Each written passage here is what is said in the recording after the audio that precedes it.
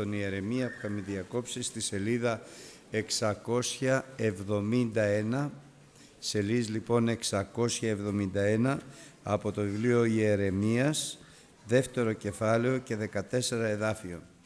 Β κεφάλαιο, 14 εδάφιο, σελίδες 671 από το βιβλίο Ιερεμίας ο προφήτης. Εκπλάγεται ουρανή δια τούτο και φρίξατε, συνταράχθητες σφόδ, συγγνώμη, το 14 εδάφιο. Μήπως είναι δούλος ο Ισραήλ ή δούλος οικογενής, διατί κατεστάθη λάφυρον, οι σκύμνοι ευρύχησαν επ' αυτόν, εξέδωκαν την φωνήν αυτών και κατέστησαν τη γην αυτών έρημων. Οι πόλεις αυτού κατεκάησαν και έμειναν ακατοίκητοι. Οι προσέτη της Νόφ και της Τάφνης συνέτριψαν την κορυφήν σου. Δεν έκαμες τούτο σύ σε, αυτούς, σε αυτόν, διότι εγκατέλειπες Κύριον τον Θεό σου, ότε σε οδήγει εν τη οδό. Και τώρα τι έχεις να κάνεις εν τη οδό της Αιγύπτου, διαναπείς τα ύδατα της Ιόρ; Τι έχεις να κάνεις εν τη οδό της Ασσυρίας, διαναπείς τα ύδατα του ποταμού; Η ασέβειά σου θέλει σε παιδεύσει και η παραβάση σου θέλουν σε ελέγξει. Γνώρισαν λοιπόν και οι δε ότι είναι κακόν και πικρόν το ότι εγκατέλειπες Κύριον των Θεών σου και δεν είναι ο φόβος μου εν λέγει ο Κύριος των δυνάμεων. Επειδή προπολού συνέτριψα το ζυγό σου, διέσπασα τα δεσμά σου και σε είπας δε θέλω σταθεί περαβάτης πλέον. Ενώ κα επί πάντα υψηλών λόφων και υποκάτω παντός δέντρου πρασίνου περιεπλανήθης εκπορνεύων. Εγώ δε σε εφύτευσα άμπελον εκλεκτήν, σπέρμα όλος αληθινών. Πώς λοιπόν μετεβλήθης εις παρεφθαρμένον κλίμα αμπέλου ξένησης εμέ, δια τούτο και αν πληθείς με νήτρο και πληθύνεις εις αυτόν το σμίγμα, η ανομία σου μένει σε σημειωμένη ενώπιόν μου, λέγει ο Κύριος ο Θεός.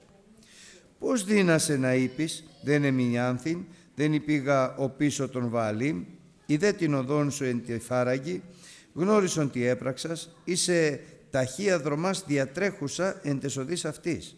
Όνος αγρία, συνηθισμένη εις την έρημον, αναπνέουσα τον αέρα κατά την επιθυμία της καρδίας αυτής, την ορμήν αυτής, τι δύναται να επιστρέψει αυτήν. Πάντες συζητούνται σε αυτήν, δεν θέλουν κοπιάζει, εν το μηνύ αυτής θέλουν ευρύ αυτήν. Κράτησον τον πόδα σου από τον να περιπατείς ανυπόδητος και το λάριγκά σου αποδίψεις, αλλά σύ είπα σεισμάτη ουχή, διότι γάπησα ξένους και κατόπιν αυτών θέλω υπάγει. Καθώς ο κλέπτης εσχύνεται όταν βρεθεί, ούτω θέλει εσχυνθεί ο οίκος Ισραήλ. Αυτοί οι βασιλείς αυτών, οι άρχοντες αυτών και οι ιερείς αυτών και οι προφήτες αυτών, ήτινες λέγουσι προς το ξύλον «Πατήρ μου είσαι» και προς τον λίθον «Σύ με εγέννησας», διότι έστρεψαν νότα προς εμέ και ουχή πρόσωπον, εν το καιρό όμως συμφοράς αυτών θέλους η ανάστηθη και σώσον ημάς.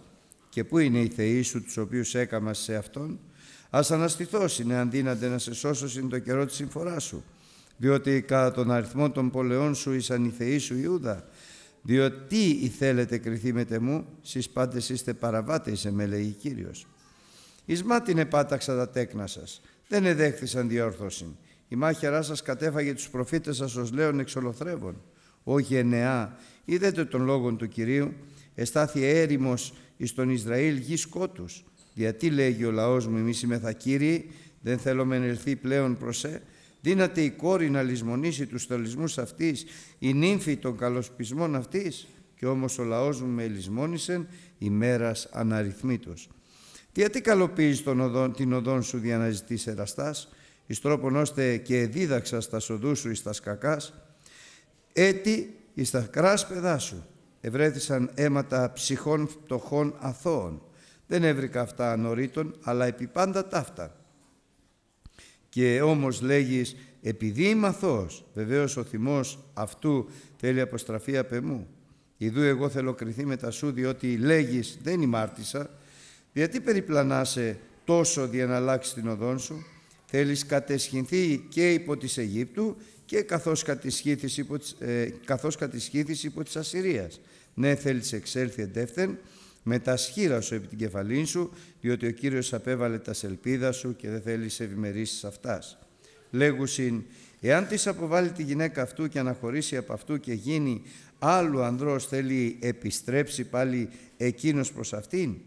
Η γη εκείνη δεν θέλει όλος μιανθεί. Σι επόρνευσας μεν με τα πολλών εραστών επίστρεψον δε πάλι προς εμέ λέει Κύριος. Σήκωσον τους οφθαλμούς σου προς τους υψηλούς τόπους και ιδέ που δεν ασέλγησας.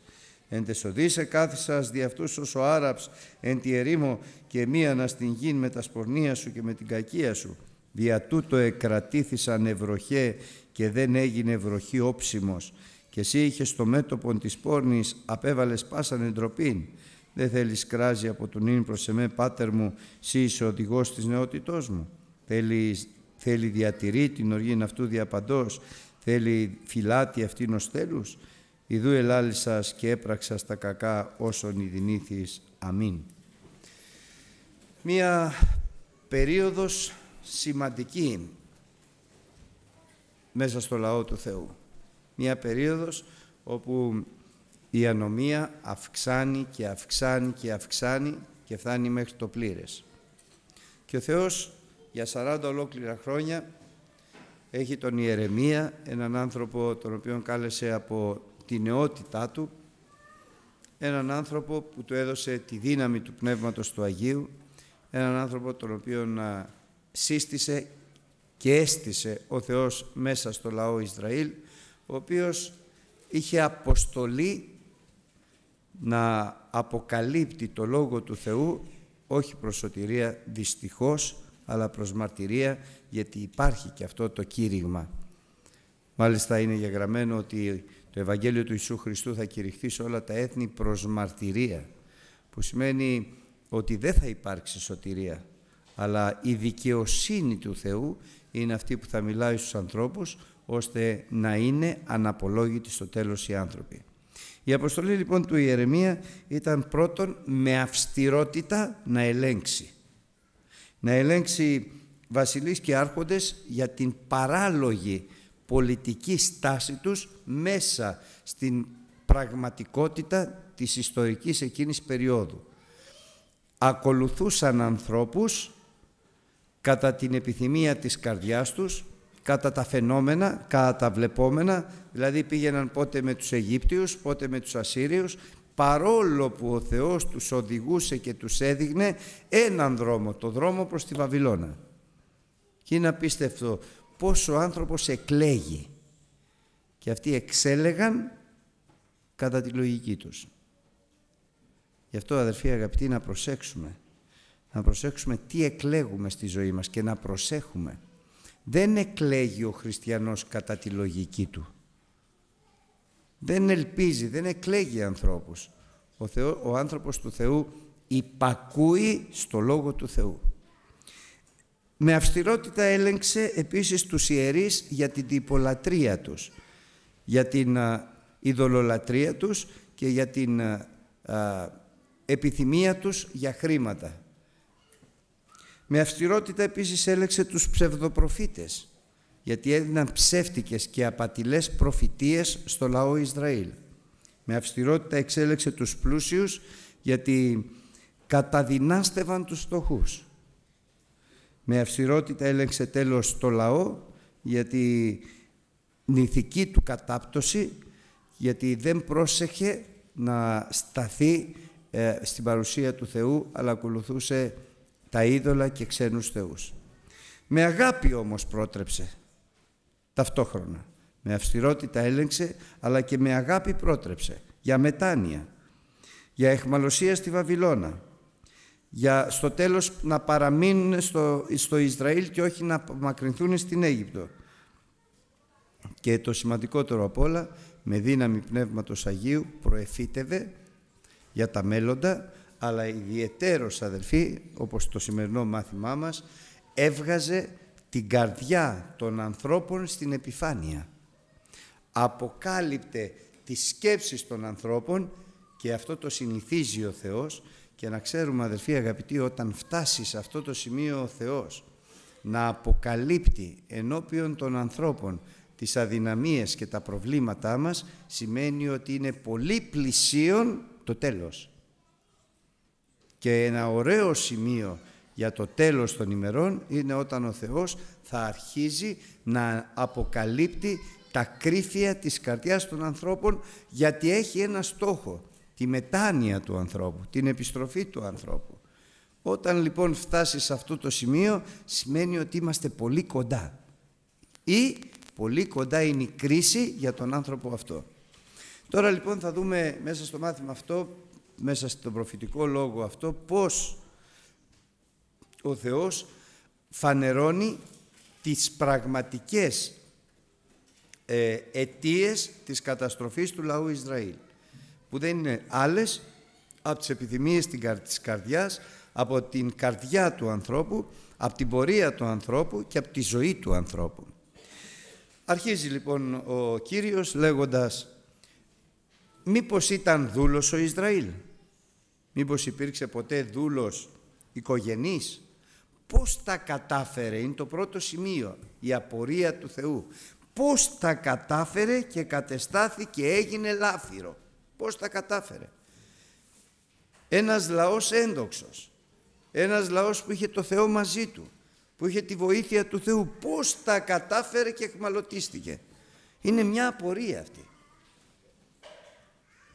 Πώς μπορεί ο άνθρωπος που τα έχει όλα να τα χάσει ξαφνικά; Που έχει δύναμη και εξουσία να διαλυθεί; Πώς τα καταφέρνει; Πώς έγινε αυτό;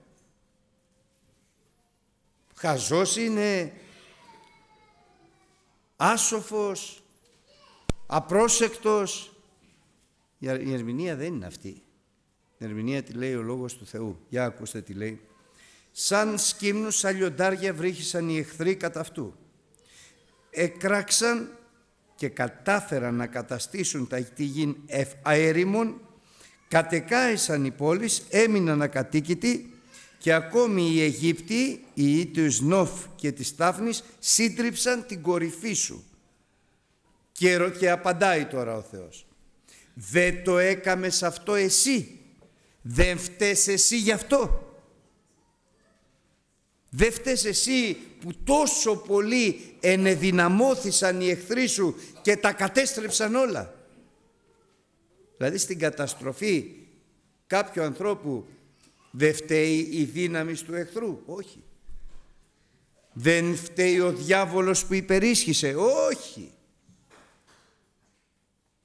Και τότε εχθροί ήταν άνθρωποι, σάρκα και αίμα. Τώρα οι εχθροί μας είναι ο διάβολος. Δεν είναι ο πανούργος που τα κατάφερε. Όχι. Γι' αυτό αδερφοί αγαπητοί πολλές φορές λέμε από τον Άμβονα και θα συνεχίζουμε να λέμε ποτέ μη λέτε τι κατάφερε ο διάβολος. Τίποτα δεν μπορεί να καταφέρει ο διάβολος. Τίποτα. Εκείνο που θα λέμε είναι πώς την έπαθα εγώ; Δεν έχει καμία εξουσία επάνω μας. Δεν έχει καμία εξουσία επάνω μας κανένας εχθρός. Είπαμε και την Κυριακή, πρωτογονιστικό ρόλο παίζει ο χριστιανός στο περιβάλλον του. Δεν μπορεί κανείς να νικήσει το χριστιανό. Αντιθέτως θρίαμβος επίκειται στη ζωή του χριστιανού. Πώς τα κατάφερες λέει ο Θεός και έγινες λάφυρο και εχμάλωτος στα χέρια του εχθρού; Δεν είσαι εσύ η αιτία. Γιατί εγκατέλειπες Κύριον των Θεών σου ενώ αυτό σε οδηγούσε εις την οδόν. Μα η αιτία. Εγκατέλειπες, όχι εγκατέλειψες μια φορά. Όχι είπες τώρα δεν σε ακολουθώ. Αλλά εγκατέλειπες συνεχόμενα Κύριον των Θεών σου ενώ αυτό σε οδηγούσε. Και τώρα τι κάνεις; Πηγαίνεις στην οδόν της Αιγύπτου για να πιείς νερό, να ξεδιψάσεις από τον ήλο Πηγαίνεις στην Ασσυρία να πιείς νερό να ξεδιψάσεις από τον ποταμό Εφράτη; Και εδώ να δούμε την, την πορεία, αδέρφια μου αγαπητά. Λέει ο λόγος του Θεού πριν, λέει ο, ο προφήτης ο Ιερεμίας, λέει ο προφητικός λόγος του Θεού. Δύο κακά έπραξε ο λαός μου. Εμέ πρώτον, εμέ εγκατέλειπε την πηγή των ζώντων υδάτων και δεύτερον, έσκαψαν σε αυτούς λάκους, λάκους συντετριμένους, οι οποίοι δεν δίνονται να κρατήσω είδωρ. Και αποκαλύπτει ο Θεός την πορεία της αποστασίας. Υπάρχει η ζωοδόχος πηγή. Υπάρχει η πηγή των ζώντων υδάτων, που είναι ο Χριστός, που είναι ο Λόγος του Θεού. Ο άνθρωπος τον εγκαταλείπει. Και λέει, εγώ θα φτιάξω τρόπο να ξεδιψάσω. Θα φτιάξω λάκους, θα μαζεύω το νερό και θα ξεδιψάω. Το αποτέλεσμα, τρίπιοι ήταν οι λάκοι, χάθηκαν το νερό. Δηλαδή οι δικές μας προσπάθειες. Κανένα αποτέλεσμα. Δηλαδή, χωρίς τη βοήθεια του Θεού, ό,τι αγώνα και να κάνει ο άνθρωπος, οδηγεί στην, στην ταλαιπωρία και στην καταστροφή. Και όταν λέω αγώνα, εννοώ από τα μικρά παιδιά που διαβάζουν στο δημοτικό, από τα μικρά, μεγαλύτερα παιδιά στο γυμνάσιο, στο λύκειο, στη ζωή τους, στα αγγλικά, στο, σε οτιδήποτε, μετά στο, να μπουν στο πανεπιστήμιο, μετά ό,τι και προσπάθεια να κάνουν. Και όσο καλά να πηγαίνουν, όταν πάψει να υπάρχει η βοήθεια του Θεού και αρχίσει ο άνθρωπος με τις δικές του προσπάθειες να νομίζει ότι θα τα καταφέρει, θα διαπιστώσει ότι είναι τρίπια τα χέρια μας. Το έχετε ακούσει που λέει, τρίπια είναι τα χέρια του, τίποτα δεν κρατάνε. Τρίπια είναι τα χέρια μας. Καμία ικανότητα. Και το αποτέλεσμα. Οι εχθροί ξεσηκώθηκαν, κατεστράφησαν οι πόλεις, το σπίτι, η ειρήνη, η ειρήνη πρώτα πρώτα αρχίζει μέσα από την καρδιά μας, μέσα από την οικογένειά μας και μέσα στο περιβάλλον μας. Κατεστράφησαν οι πόλεις μας, χάθηκε η ειρήνη και τώρα λέει πού συνεχίζεις; Δεν καταλαβαίνεις ότι δεν φταίνε οι εχθροί ότι είναι ισχυροί, αλλά ότι φταίς εσύ που έχασες τη δύναμη του Θεού. Και τώρα πού πας, πας στην Αίγυπτο; Δηλαδή εγκατέλειψες την πηγή των ζώων των υδάτων. Έφτιαξες δικούς τους λάκους. Και τώρα προχωράς να ξεδιψάσεις στον ποταμό της Αιγύπτου τον Ήλο, στον ποταμό της Ασσυρίας τον Εφράτη. Δεν καταλαβαίνεις ότι η ασέβειά σου θα σε παιδεύσει και οι παραβάσεις σου θα σε ελέγξουν. Δεν μπορείς να γνωρίσεις και να δεις ότι το, το ότι δύο πράγματα εγκατέλειπες τον Κύριο και έχασες το φόβο του Θεού τούτο είναι πράγμα κακών και πικρών ωραίες λέξεις και κακό και πίκρα θα γεμίσει την καρδιά σου και όλα θα πηγαίνουν στραβά και με θλίψη και πόνος θα πλημμυρίζει την καρδιά σου δεν το κατάλαβες ότι αυτό το πράγμα το ότι δύο πράγματα και να τα προσέξουμε αδερφοί αγαπητοί είναι τα χαρακτηριστικά της αποστασίας της πλήρους. Και τον Θεό εγκατέλειψε και το φόβο του Θεού έχασε. Υπάρχει πιθανότης να αποστατήσει ο άνθρωπος εγκαταλείποντας το Θεό και να μην χάσει το φόβο του Θεού. Αυτός θα επιστρέψει. Δηλαδή να είναι έξω και να φοβάται το Θεό. Έχω δει τέτοιους ανθρώπους. Βλέπεις φοβόνται το Θεό. Προσεύχονται αλλά τους οδηγεί η καρδιά τους και η σάρκα τους. Όταν όμως και τον Θεό εγκαταλείψει ο άνθρωπος και το φόβο του Θεού χάσει, τότε ο άνθρωπος αυτός είναι σε πολύ κακά χέρια. Είναι σε πολύ δύσκολες καταστάσεις. Και γιατί μας το λέει ο Λόγος του Θεού; Για να σας πω κάτι αδερφοί και να δώσουμε και μεγάλη προσοχή. Όλοι μας κάποια στιγμή μπορεί να εγκαταλείψουμε το Θεό. Τι σημαίνει να εγκαταλείψουμε το Θεό, να πέσουμε. Να ξέρουμε τι είναι το θέλημα του Θεού και να μην το κάνουμε. Όλοι μας. Όλοι μας. Και μην βιαστεί κανείς να πει εγώ αποκλείεται, σαν τον Πέτρο θα έρθει ο Κύριος και θα του πει πριν λαλήσει αυτή τη νύχτα, πριν λαλήσει ο Αλέκτορ, εσύ τρεις φορές θα με απαρνηθείς. Κανείς μας δεν είναι τόσο ισχυρός για να σταθεί στο απειρόβλητον του εχθρού. Τι είναι αυτό όμως που μας σώζει; Τι είναι αυτό όμως που μας επαναφέρει; Ο φόβος του Θεού.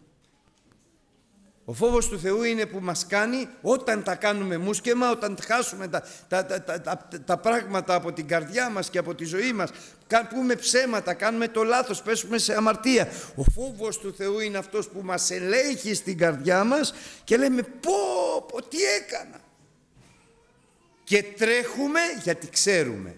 Ξέρουμε την οδό της επιστροφής και της μετάνοιας. Αν επιστρέψεις Ισραήλ, εις εμένα επιστρέψεις φωνάζει ο Θεός. Τρέχουμε λοιπόν στο Θεό και λέμε Κύριε έλεος. Και τι είναι αυτό, η μετάνοια. Και τι λέει ο Λόγος του Θεού σε αυτό, μην πεις ότι δεν θα αμαρτήσεις. Μην πεις ότι η αμαρτία δεν έκανα, ψεύστε κάνεις το Θεό.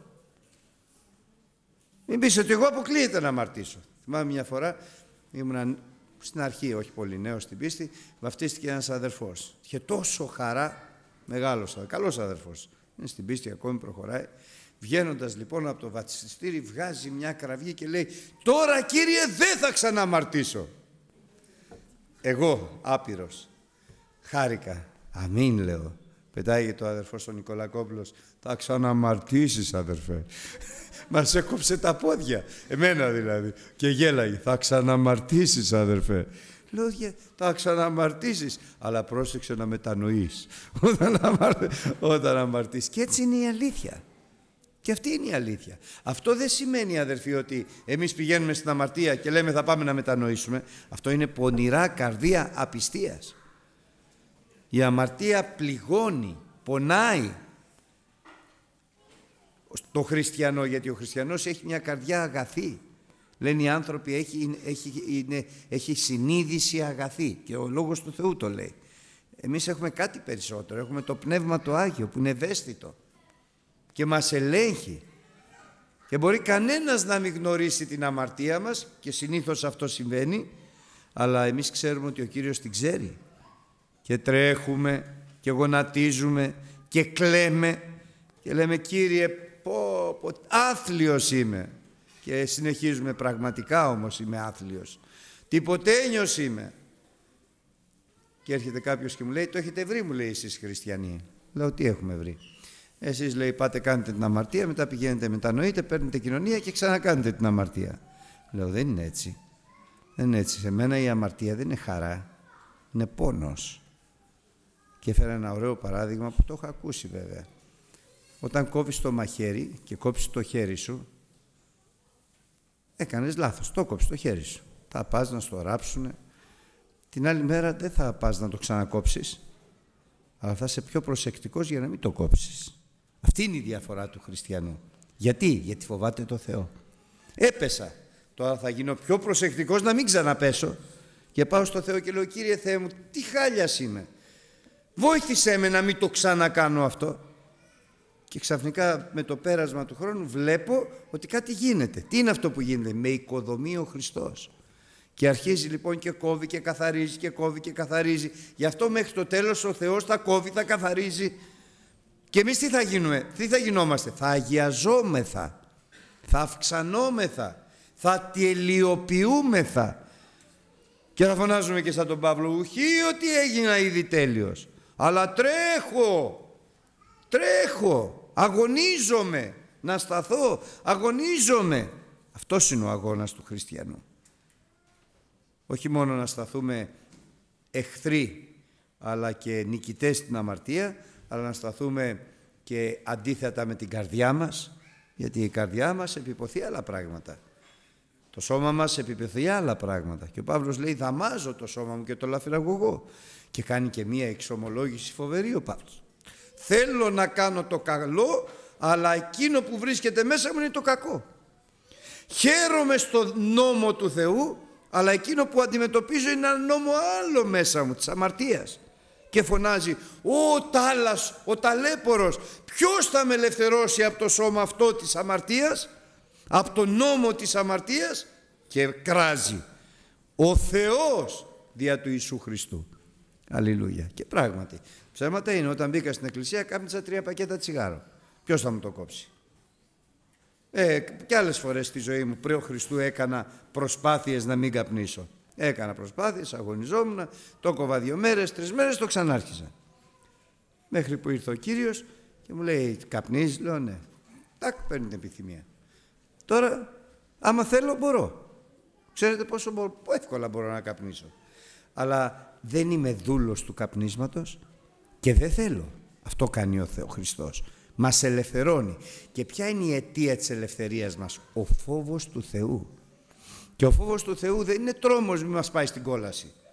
Μας είπε ότι τα πρόβατα τα δικά μου από τα χέρια μου κανείς δεν τα παίρνει.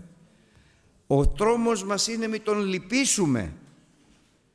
Μην χάσουμε την ευαισθησία μας, μην χάσουμε τη γλυκύτητά μας, μην χάσουμε την προσέγγισή μας. Και εγώ θα πω κάτι που είναι το πιο σοβαρό αδερφοί. Μην χάσουμε την ευλογημένη σχέση που έχουμε με τον Χριστό.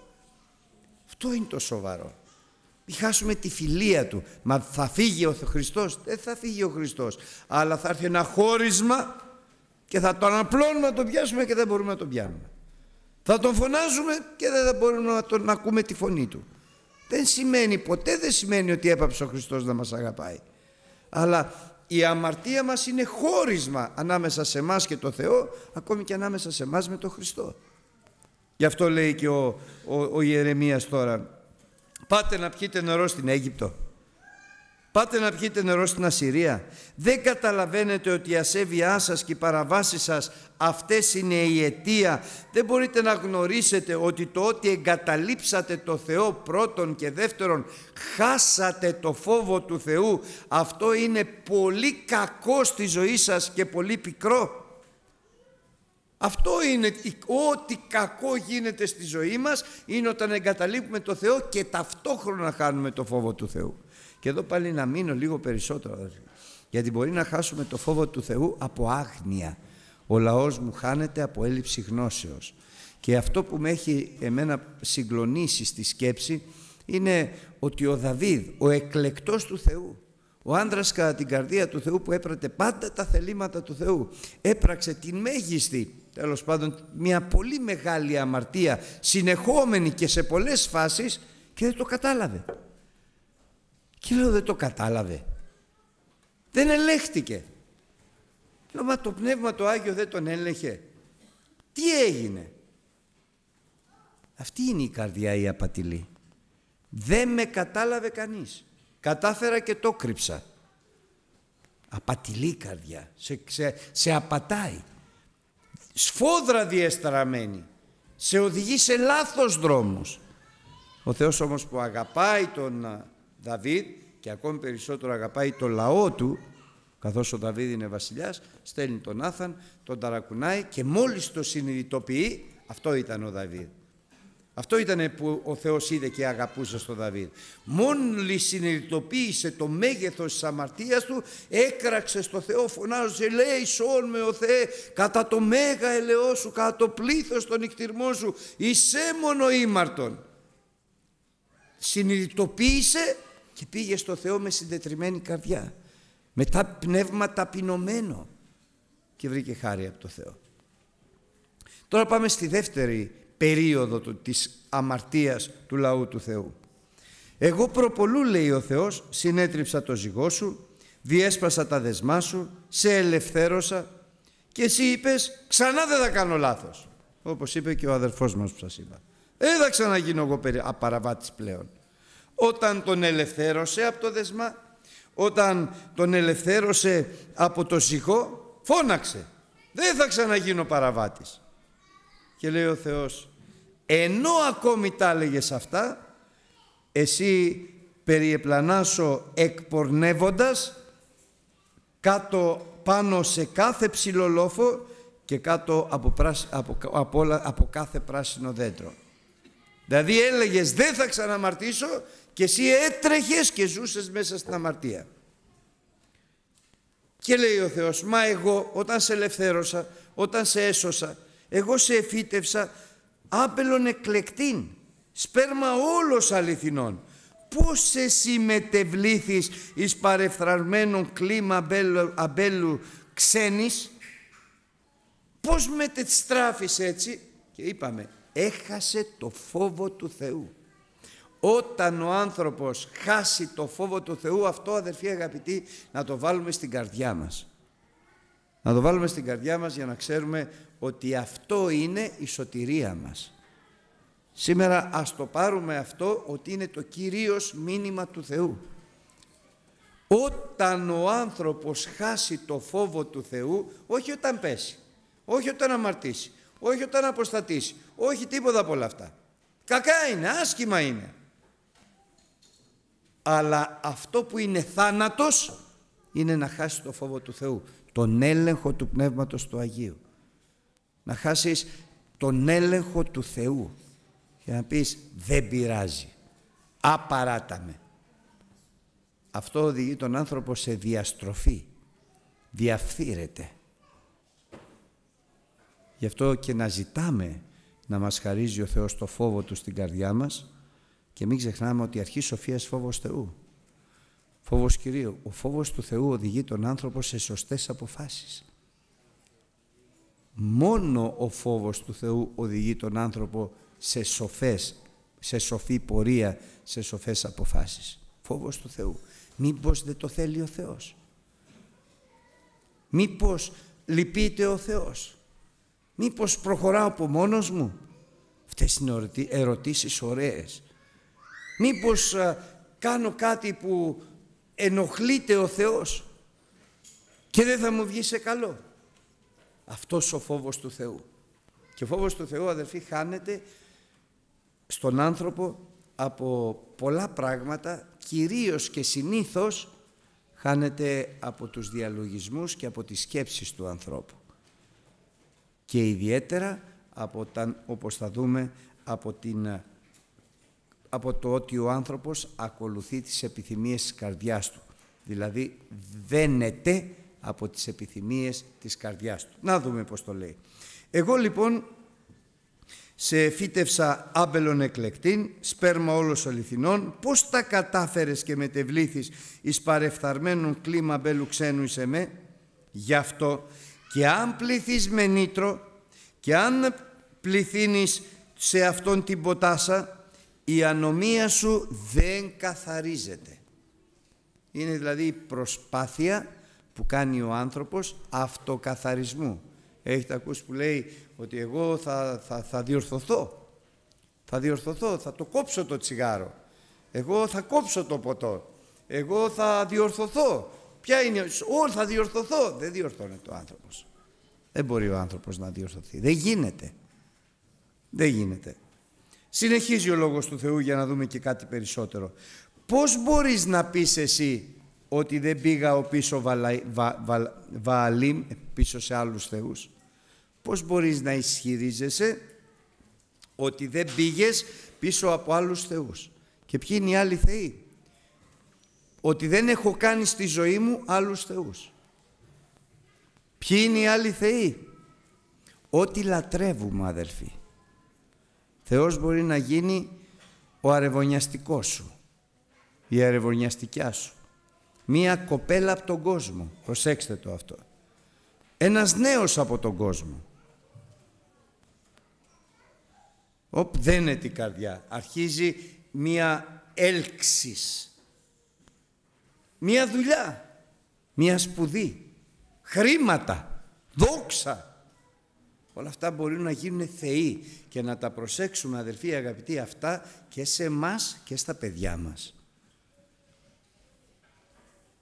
Να προσέξουμε μην τυχόν διαπιστώσουμε σε μας κάποια καινούρια θεϊκή ύπαρξη ή πως διαπιστώσουμε στα παιδιά μας κάποια καινούρια θεϊκή ύπαρξη.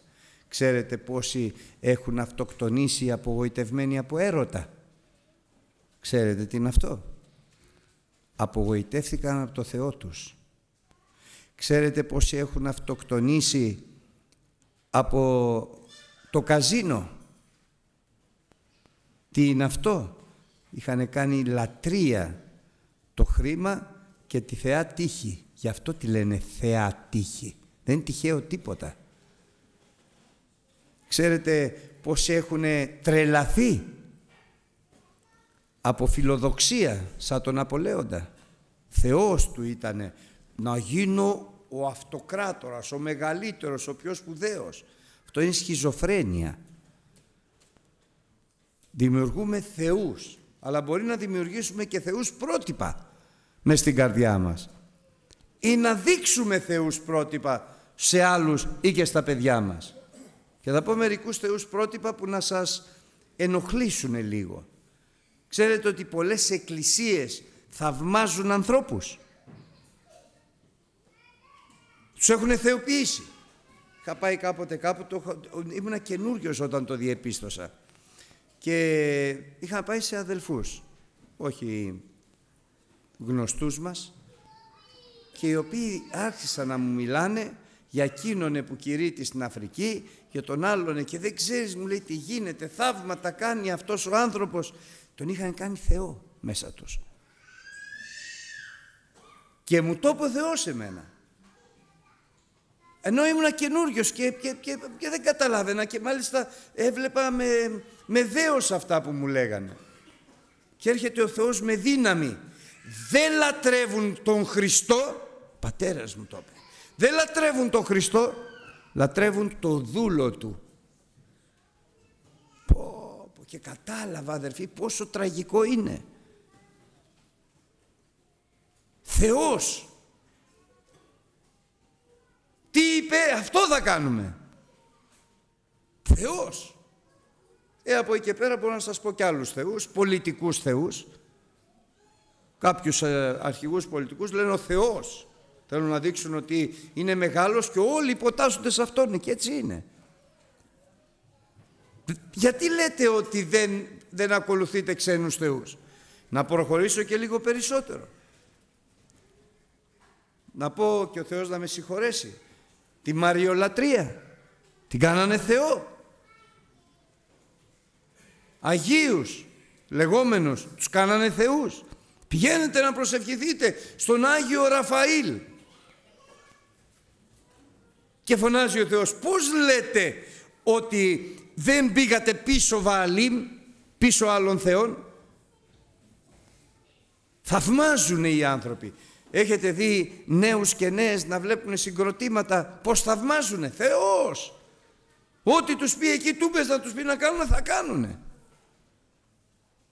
Πόσο εύκολα η καρδιά πλανάται για να λατρεύσει. Γι' αυτό αδερφοί αγαπητοί ποτέ μην μπείτε στο παιδί σας σε λατρεύω. Ποτέ μην πείτε στον άντρα σας, στη γυναίκα σας σε λατρεύω. Μόνο τον Θεό λατρεύομαι. Κύριον τον Θεό σου θα προσκυνήσεις και μόνον Αυτόν θα λατρεύεις. Θα μου πεις το λέμε χωρίς να το καταλαβαίνουμε. Εμείς το λέμε και πρέπει να το καταλαβαίνουμε. Η λατρεία μας είναι μόνο ο Θεός. Το παιδί μας το αγαπάμε πάρα πολύ αλλά δεν είναι και δικό μας, του Κυρίου είναι. Το εγγονάκι μας, μιλάω για εγγονάκι γιατί είναι ένα άλλο συνέστημα το οποίο πρέπει να κοπεί μέσα στην καρδιά μας. Δεν δένεται ο άνθρωπος με άνθρωπο. Δενόμαστε μόνο με τον Χριστό. Από τη στιγμή που ο άνθρωπος εξαρτάται από άνθρωπο μπήκε στην κατηγορία του καταραμένου. Επικατάρατος ο άνθρωπος. Μα τη γυναίκα σου την αγαπάς πάρα πολύ. Σαν τον εαυτό μου. Δεν τα καταφέρνω, αλλά μέχρι εκεί επιτρέπεται. Από εκεί και πάνω δεν επιτρέπεται αδερφοί. Ή επειδή είμαστε χριστιανοί, όπως ο Χριστός μας αγάπησε. Μέχρι εκεί. Πέραν τούτου μπήκαμε στο να λατρεύουμε άλλους θεούς. Το αποτέλεσμα. Πώς λες ότι δεν λατρεύεις Βαλήμ, δεν βλέπεις την πορεία σου. Και λέγει τρέχεις σαν την αγρία όνο στην έρημο αναπνέουσα τον αέρα κατά την επιθυμία της καρδίας αυτού, αυτής και κατά την ορμή της επιθυμίας αυτής. Ποιος μπορεί αυτήν να την επιστρέψει; Κανένας. Κανένας. Άγρια όνος. Δεν μπορεί να την επιστρέψει κανείς αυτήν. Γιατί τρέχει κατά την επιθυμία της καρδιάς της. Σαν την ταχεία δρομάδα που διατρέχει εν τεσοδής. Ποιος μπορεί κατά την επιθυμία της καρδιάς της, ποιος μπορεί να την επιστρέψει; Και συνεχίζει, πρόσεξε στο 26 εδάφιο, κράτησε τον πόδα σου γιατί σε λίγο θα περπατάς ανυπόδητος και θα πληγωθείς. Κράτησε το λαριγκά σου γιατί θα ξεραθεί από τη δίψα, αλλά εσύ είπες όχι. Και αυτό το όχι αδερφοί αγαπητοί, μην μας φαίνεται περίεργο, ακούγεται συχνά. Αγαπάω, λέει, είμαι ερωτευμένος. Ε, παιδί μου, τι θα πει ερωτευμένος, ερωτευμένος είμαι. Και είναι 60 χρονών, 70 χρονών γέρος. Ερωτευμένος είμαι.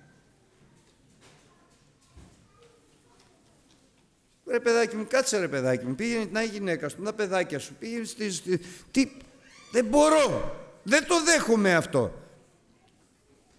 Είναι τόσο πολύ μεγάλη επιθυμία. Ο Θεός να μας φυλάξει αδερφοί. Ο Θεός να μας φυλάξει.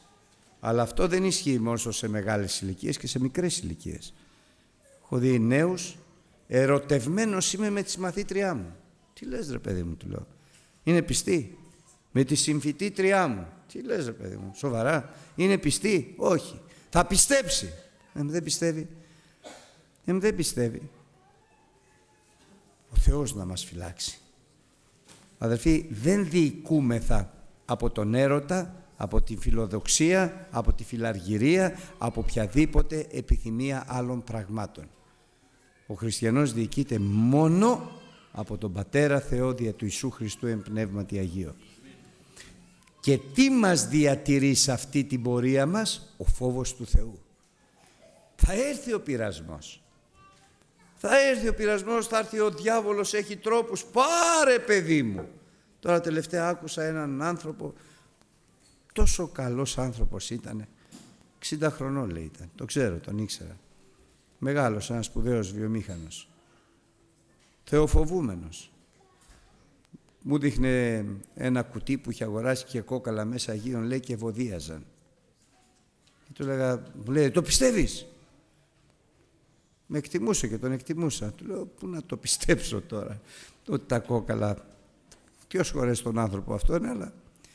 Και έμαθα ότι χώρισε τη γυναίκα του και παντρεύτηκε, λέει, μία 23χρονη καλονή εξ Ουκρανίας. Λέω, Κύριε Θεέ μου, λέω. Κύριε Θεέ μου.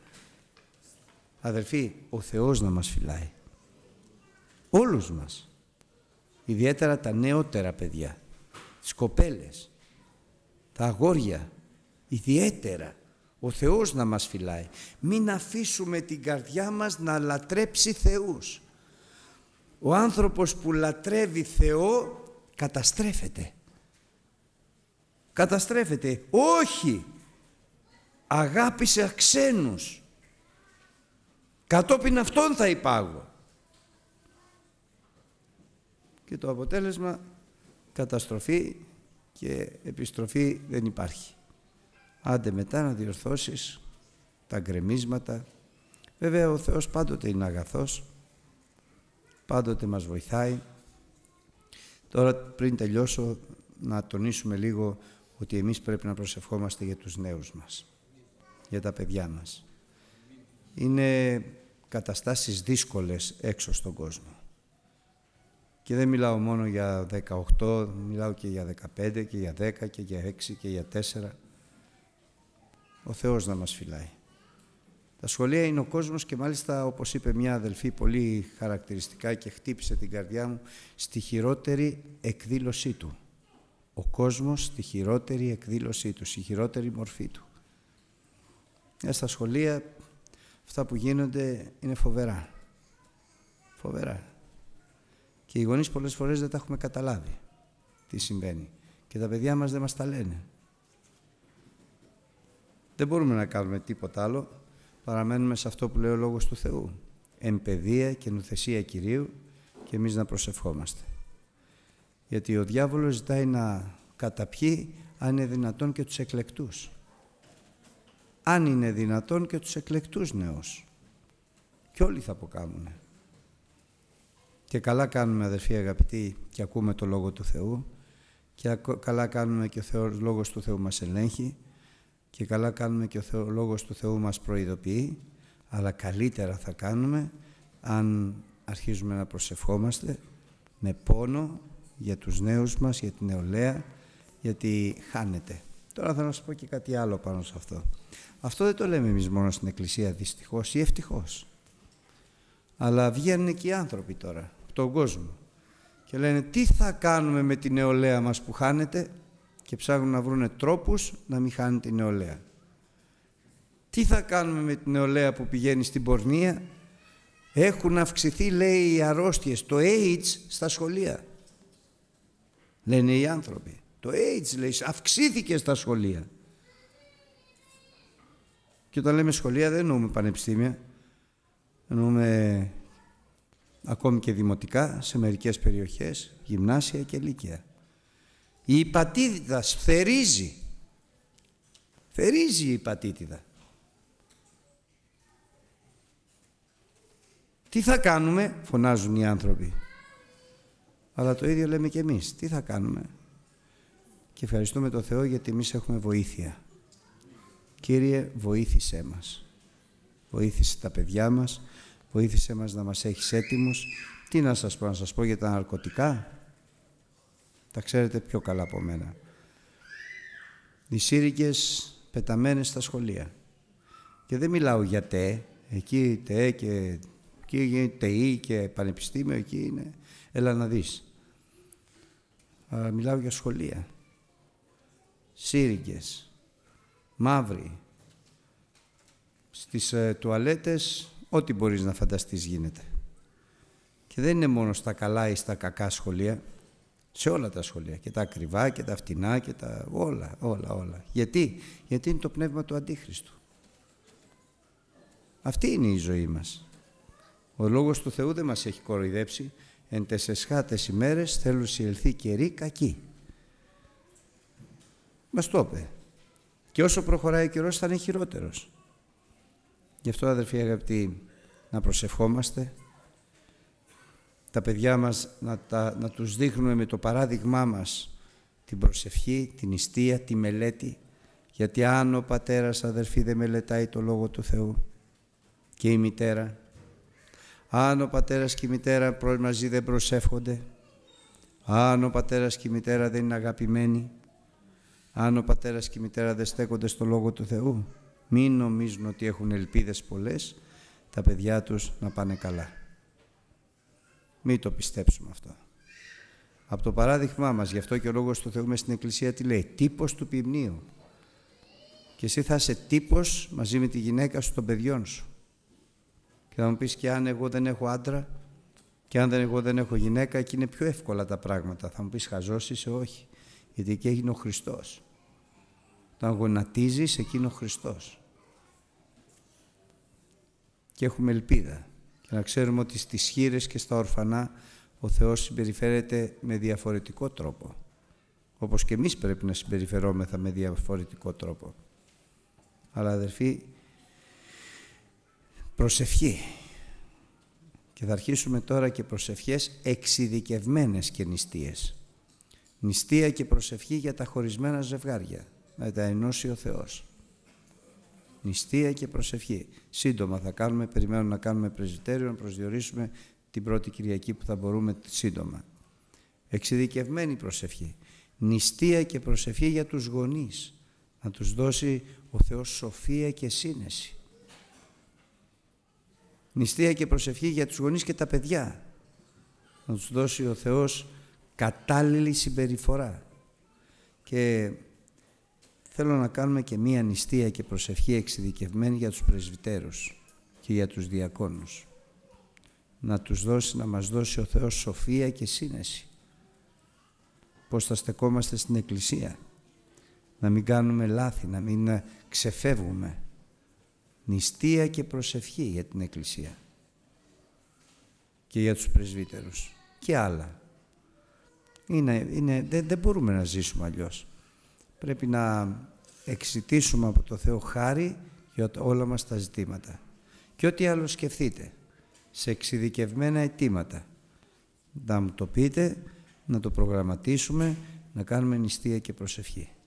Χρειαζόμαστε τη βοήθεια του Θεού. Νηστεία και προσευχή για τα παιδιά μας που δεν έχουν πιστέψει.